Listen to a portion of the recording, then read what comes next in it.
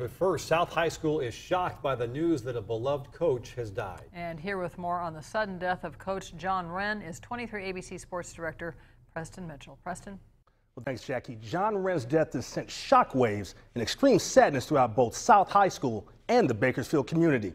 Now, Wren passed away at his home in Bakersfield and died in his sleep, according to John Tevis, the public information officer for Kern High School District, either Monday night or early Tuesday morning.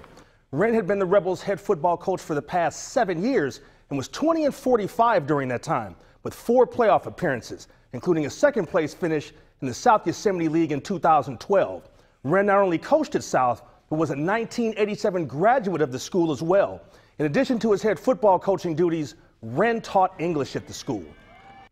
We'll have more on the death of South head football coach John Wren, including an interview coming up later in sports at 6. I'm Preston Mitchell, 23, ABC Sports.